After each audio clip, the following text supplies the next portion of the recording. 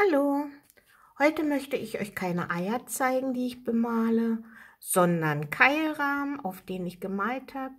Und hier zeige ich euch äh, einen Hahn. Habe ich mir eine Vorlage gesucht und habe mit Acrylfarben auf den Keilrahmen gemalt. 40 mal 40 ist die Größe.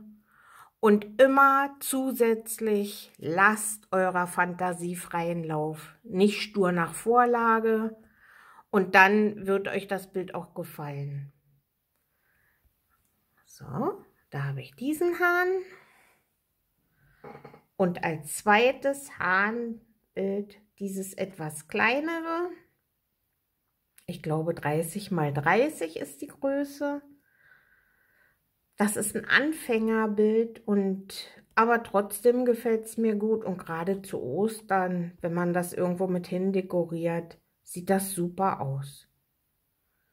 Viel Spaß beim Nacharbeiten!